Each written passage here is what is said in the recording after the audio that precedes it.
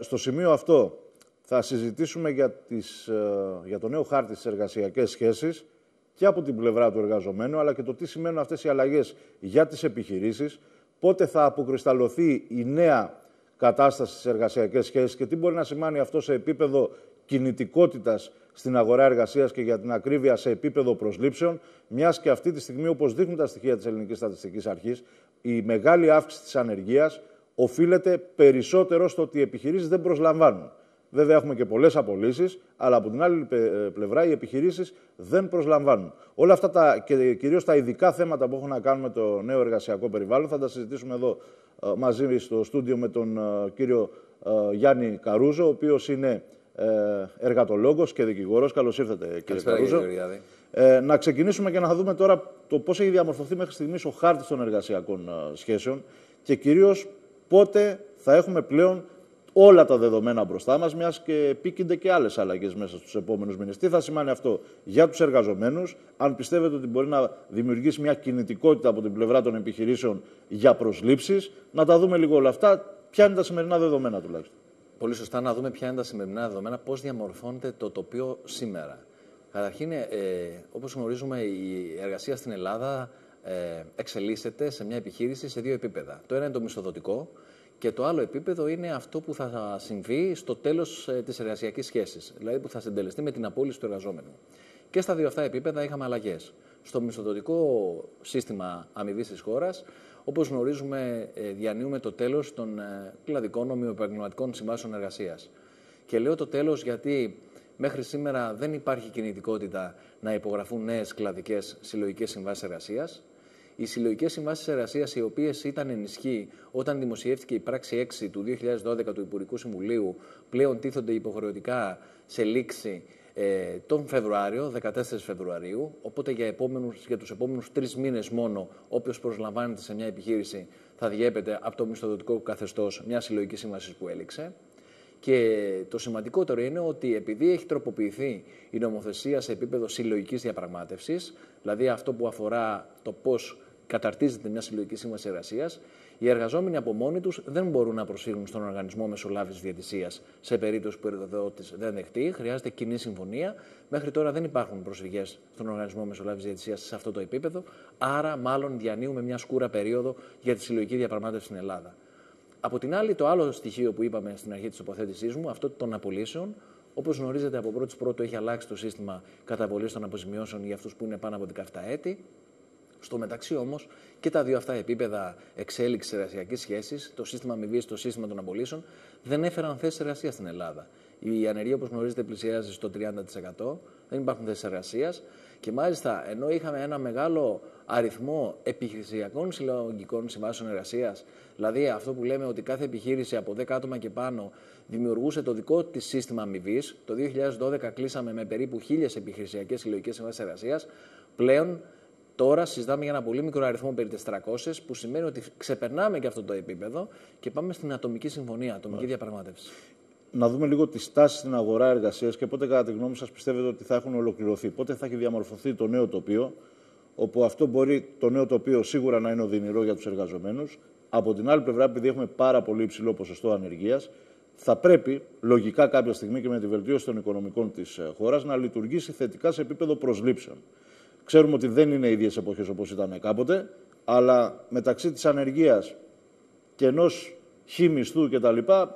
προφανώς θα επιλέγει το δεύτερο. Το λιγότερο κακό, να το πούμε πολύ απλά. Πότε πιστεύετε ότι θα έχουν ολοκληρωθεί όλες αυτές οι, οι παρεμβάσεις και κυρίως πώς βλέπετε να διαμορφώνονται οι τάσεις στην αγορά εργασίας αφού ολοκληρωθούν όλα αυτά τα, όλες αυτά, όλα αυτά τα μέτρα, όλες αυτές οι δράσεις; Κοιτάξτε, θα πρέπει να λάβουμε υπόψη μια κύρια παράμετρος που είναι η πληροφόρηση που έχουμε από το επίπεδο της Τρόικας υπήρξε μια κίνηση και νομίζω ότι αυτή τελικώς θα πραγματοποιηθεί. Αυτό αναφέρει και η δική μου πληροφόρηση.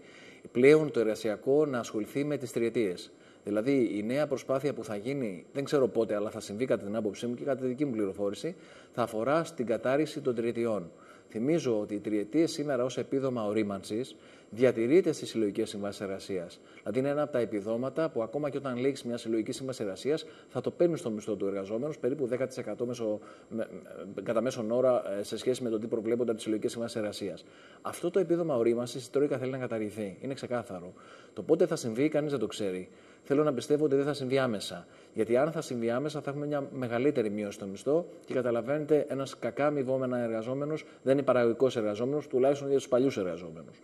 Για να φτάσω λοιπόν να πω ότι αν θα επιφέρει μια αλλαγή στην ανάπτυξη των θέσεων εργασίας όλη αυτή η ιστορία, θα σας πω ότι μέχρι τώρα δεν έχει συμβεί.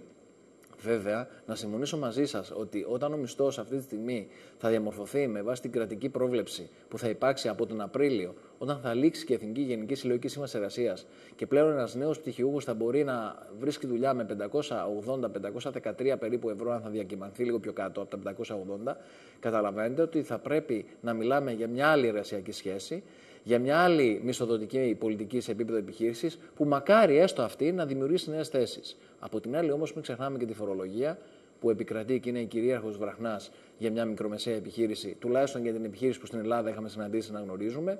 Δεν υπάρχει ασφαλές φορολογικό περιβάλλον και όσο το έλλειμμα αυτή τη στιγμή δεν θα μειώνεται, καταλαβαίνετε ότι και η ανάπτυξη στο επίπεδο, στο επίπεδο δημιουργίας θέσεων εργασίας είναι πολύ μακρινή υπόθεση. Επειδή πάμε πλέον σε αυτές τις ε, ατομικές κυρίως συμβάσεις, αυτό είναι το νέο τοπίο στην αγορά, υπάρχουν οι ελαστικές μορφές απασχόλησης κτλ. Εφόσον ξεπεράσουμε αυτό θα εξαρτηθεί. Θα μας πάρει όμως αρκετά χρόνια. Εφόσον ξεπεράσουμε αυτό το σκόπελο, πιστεύετε ότι μπορεί να λειτουργήσει αυτό το σύστημα όταν ομολοποιηθούν και στι συνθήκε στην αγορά εργασίας αντιστοίχως ως προς το αμερικανικό σύστημα; Ε, όπου δηλαδή μπορεί κάποιος να ξεκινήσει με 700 δολάρια και με βάση την αποτελεσματικότητά του να βρεθεί στα 2 ή 3 χιλιάδες δολάρια, για παράδειγμα.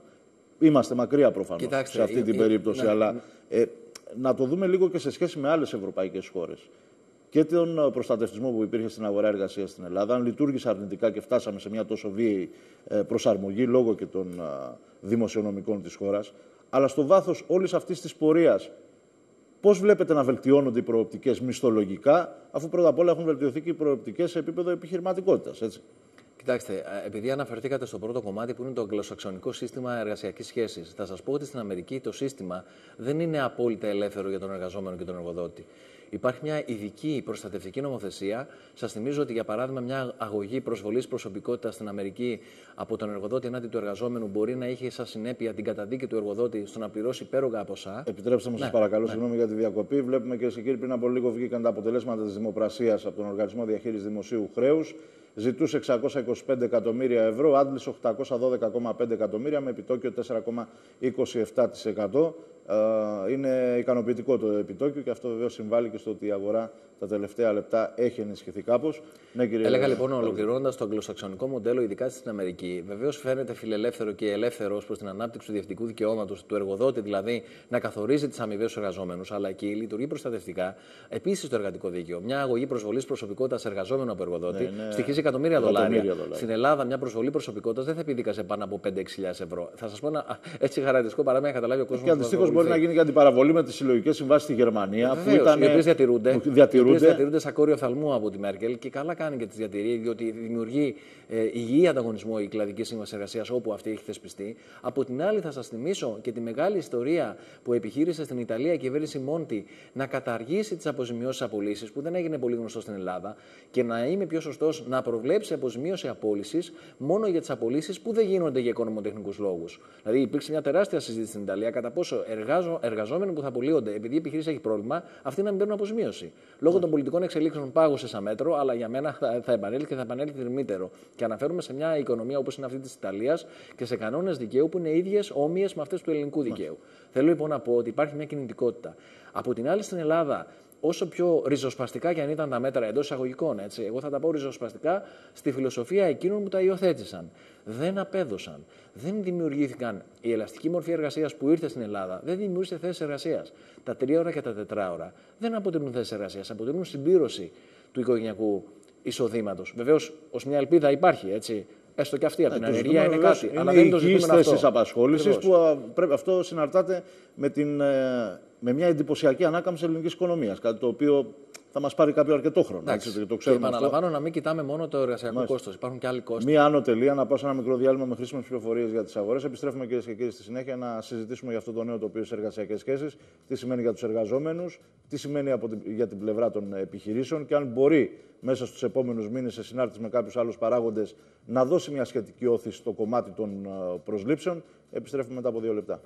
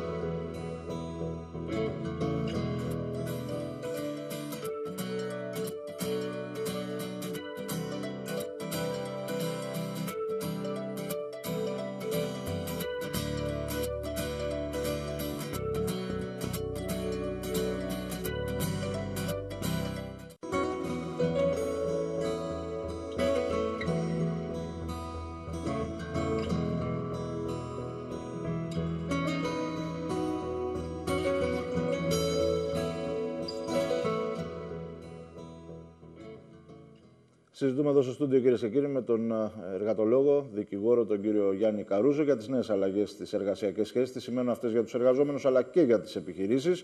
Ε, να πάμε να δούμε τώρα για τις αλλαγές που επέρχονται, για τις αλλαγές που έχουμε μπροστά μας. Έχουμε μέχρι στιγμής τα όλα δεδομένα και να τα δούμε και στην πράξη. Τι γίνεται στον ιδιωτικό τομέα, τι θα γίνει την 1η Απριλιά με τον ε, νέο μισθό, τι γίνεται στον ευρύτερο δημόσιο τομέα, τι σημαίνει προσαρμογή με βάση το ενιαίο μισθολόγιο, τι συμβαίνει με τα επιδόματα, να δούμε όλα αυτά τα ζητήματα, τα οποία είναι θέματα τα οποία έχουν και την οπτική, την προσέγγιση από, από τον εργαζόμενο, αλλά και από την άλλη πλευρά ως προς το επιχειρήν. Γιατί προφανώς κάποιοι περιμένουν να ολοκληρωθούν αυτές οι αλλαγές για να δουν την επόμενη μέρα πώς θα σχεδιάσουν μια επιχειρηματική κίνηση. Μια επιχειρηματική κίνηση, αναμφίβολα, είναι, ε, είναι δεδομένο ότι θα συμβάλλει στο να αυξηθεί η απασχόληση. Γιατί αυτό είναι το ζητούμενο αυτή τη στιγμή. Δεν μπορεί να σηκώσει αυτή η χώρα εδώ να φτάσουμε κοντά στα 2 εκατομμύρια ανέργους. Δεν γίνεται. Δεν γίνεται. Λοιπόν, κύριε Γεωργιάδη, πριν πάμε στην Πρωταπηλιά, να πάμε τι θα συμβεί του Αγίου Βαλεντίνου. Α, μάλιστα, γιατί, έχουμε σωστά Γιατί στις 14 Δευτέρου του 2013, όσες συλλογικές συμβάσεις εργασίας ήταν ενισχύ όταν ψηφίστηκε η πράξη 6 το 2012, θυμίζω το Φλεβάρι μήνα ήταν αυτή η πράξη Υπουργικού Συμβουλίου, αυτές λοιπόν οι συλλογικές συμβάσεις, κλαδικές κλπ., λήγουν 14 Φεβρουαρίου του 2013. Που σημαίνει πρακτικά λοιπόν ότι όταν λήξει αυτή η συλλογική σύμβαση εργασίας που αφορά η καθεμία σε χωριστούς κλάδους και πολλά επαγγέλματα και ειδικότητες, ο εργοδότης για τρεις μήνες είναι υποχρεωμένος, αν θα προσλάβει κάποιον εργαζόμενο, να τον εντάξει στο προηγούμενο μισθοδοτικό καθεστώς. Άρα θεωρώ ότι στο χρονικό αυτό διάστημα θα έχουμε μια αναμονή, όπως σωστά επισημάνετε και εσείς πριν, για νέες προσλήψεις. Άρα θα έχουμε συνεχή τροφοδότηση τη ανεργία, στάση αναμονής από την πλευρά των επιχειρήσεων. αλλά λέω τώρα, αν ήμουν εργοδότης, πονηρός αυτό θα έκανα. Πονηρός, επαναλαμβάνω. Δεν θα γίνονται προσλήψεις. Ναι. Το δεύτερο το σημαντικό είναι ότι στην περίοδο το, του τριμήνου από τότε που θα λήξει μια συλλογική σύμβαση εργασίας, να ξέρουν οι εργαζόμενοι που απασχολούνται και εφόσον αυτοί πληρώνονται στα όρια της συλλογικής σύμβασης εργασίας που λέγει, ότι δεν μπορούν να υποστούν καμία μείωση μισθού. Εκτός βέβαια αν συνυπογράψουν την πρόσκληση που θα τους κάνει ο εργοδότης. Αν δηλαδή δεχτούν και οι ίδιοι να μειωθούν οι μισθοί τους. Τώρα, παρέρχεται το τρίμηνο. Τι συμβαίνει; Πρώτα απ' όλα, κάθε νέα πρόσληψη, φτάσαμε δηλαδή το Μάιο, 14 Πέμπτου του 2013. Σημειώνω ότι την Πρωταπριλιά θα έχει περάσει και με την ενέργεια της της Εθνικής Γενικής Συλλογικής Σύμβασης Εργασίας. Δηλαδή πλέον δεν θα υπάρχει ούτε Εθνική Γενική Συλλογική Σύμβαση Εργασίας ως ελάχιστη προστασία. Βεβαίως, το Υπουργείο Εργασίας μέχρι τότε οφείλει να καθορίσει την ελάχιστη μισθοδοτική προστασία του εργαζόμενου με νόμο. Δηλαδή, όπως ξέρουμε με βάση το Μνημόνιο 3, ο Υπουργός Εργασίας θα καθορίζει την ελάχιστη προστασία του μισθού. Άρα λοιπόν φτάσαμε το Μάιο, που έχουν περάσει και το τρίμηνα που είπαμε προηγουμένως. Τι συμβαίνει τότε; Πρώτα απ' όλα, αν θα χρειαστεί ο εργοδότης να προσλάβει έναν εργαζόμενο το Μάιο, θα μπορεί να το εντάξει σε όποιο μισοδοτικό καθεστώς θέλει. Μάλιστα. Και αυτό είναι απόλυτο. Θα μου πείτε με ποια ελάχιστη προστασία, τα 100 ευρώ, τα 200, όχι. Με την ελάχιστη προστασία που θα έχει ορίσει το Υπουργείο Εργασίας. Σαν κατώτατο μισθό μιας Εθνικής Γενικής Συλλογικής Σύμβασης παλιά, θα λέγαμε. Το δεύτερο είναι να σας πω ότι δεν είμαι σίγουρος ότι θα υπάρξουν άλλες συλλογικές συμβάσει εργασίας. Θυμίζω ότι είναι σε ισχύ, τουλάχιστον μέχρι τον Οκτώβριο, μια πολύ μεγάλη συλλογική σύμβαση εργασίας που αφορά, αφορά πολύ προσωπικό αυτή των εμπορροϊπαλλήλων στο εμπόριο. Αυτή η σύμβαση για τις κατηγορίες των επιχειρήσεων και του προσωπικού που συζητάμε στον χώρο του εμπορίου είναι ενισχύ. Οι εργαζόμενοι λοιπόν που ανήκουν σε αυτές τις κατηγορίες δεν έχουν να φοβούνται τίποτα. Όλοι οι άλλοι θα είναι σε μια ελεύθερη διαπραγμάτευση, ειδικά από το Μάιο και μετά, με την ελάχιστη ασπίδα που σας είπα προηγουμένως. Στο χρονικό διάστημα όμως, από τη στιγμή που θα παρέλθει το τρίμηνο για κάθε συλλογική σύμβαση εργασίας πάντα στον ιδιωτικό τομέα, αλλά και στον ευρύτερο δημόσιο τομέα, όπως θα εξηγήσουμε παρακάτω, θα δούμε ποιες αλλαγές εκεί θα συντελεστούν, ο εργαζόμενος θα παίρνει το βασικό του μισθό και ταυτόχρονα τέσσερα επιδόματα εφόσον προβλέπονταν από τη συλλογική σύμβαση. Το ένα είναι το επίδομα τέκνων, ακόμα και αν ένας δεν είχε το τέκνο, αν το αποκτήσει ναι. θα το πάρει. Το δεύτερο είναι το επίδομα επικινδύνου εργασίας. Το τρίτο είναι το επίδομα σπουδών και το τέταρτο είναι το επίδομα ορίμανσης. Προσοχή τώρα. Το επίδομα ορίμαση είναι οι πολυετίες. Όπως γνωρίζουν οι εργαζόμενοι, οι πολυετίες εξελίσσονται. Τριετίες οι περίφημες. Κάθε τριετία υπάρχει και μια αύξηση. Με το νέο νόμο του μνημονίου που ψηφίστηκε, οι τριετίες παγώνουν όπως είχαν διαμορφωθεί 14 Φεβρουαρίου ή θα διαμορφωθούν μάλλον του 2013. 13. Άρα λοιπόν έχουμε ένα πάγωμα της, ε, του επιδόματος τριετίας ε, στο Φλεβάρι θα καταβάλλεται ως επίδομα, απλά δεν θα εξελίσσεται. Και όλα αυτά εντάσσονται σε αυτόν τον κεντρικό στόχο ότι όλες αυτές οι αλλαγές, το πάγωμα των τριδιών κτλ. έχει έναν ορίζοντα μέχρι η ανεργία να πέσει κάτω από το 10%. Ε, ναι. Θα μας πάρει αρκετά χρόνια βεβαίως. Μπορεί να γίνει νωρίτερα από ό,τι πιστεύουμε ενδεχομένως ως μέσα στην απεσιοδοξία που μπορεί να υπάρχει. Αλλά έχουν, υπάρχουν συγκεκριμένες ρήτρες που συνδέονται αυτές οι αλλαγές. Λέω ότι αν πέσει η ανεργία κάτω από το 10%, τότε αρχίζει και ρυθμίζεται η αγορά σε διαφορετικό ε, επίπεδο. Ε, να, βάλουμε, να πάμε σε ένα διαφημιστικό διάλειμμα, κύριε Καρούζο, και να δούμε τα υπόλοιπα θέματα στην ε, συνέχεια. Μερικά ακόμη πρακτικά θέματα από την πλευρά της εργασίας αλλά και τομέα. των επιχειρήσεων, να δούμε και στο δημόσιο τομέα και να ολοκληρώσουμε. Πάμε σε διαφημιστικό διάλειμμα, κυρίες και κύριοι. Επιστρέφουμε σε λίγα λεπτά.